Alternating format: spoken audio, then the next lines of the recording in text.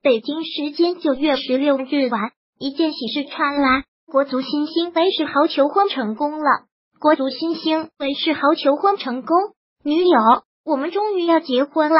十六日晚，国足新星韦世豪的女友在社交媒体上写道：“顽童来干大事了，至今都感觉恍恍惚惚，做梦也没想到过顽童会出现在我的求婚现场，真的超级感谢他们。”更要感谢我的小老弟，我们四年的恋爱终于修成了正果。这四年的酸甜苦辣，只有我们自己能懂。也很感恩缘分让我们相遇，我们终于要结婚了。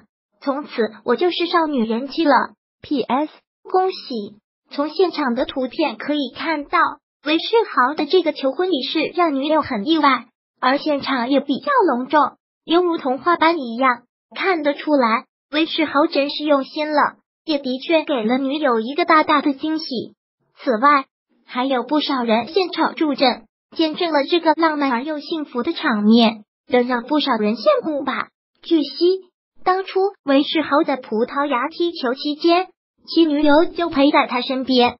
根据他的透露，两人已经相恋了四年，期间经历了酸甜苦辣，而现在终于修成了正果。从图片中可以看出，韦世豪的女友面容姣好，虽然年纪不大，但透露着一种成熟和优雅，身材也很好。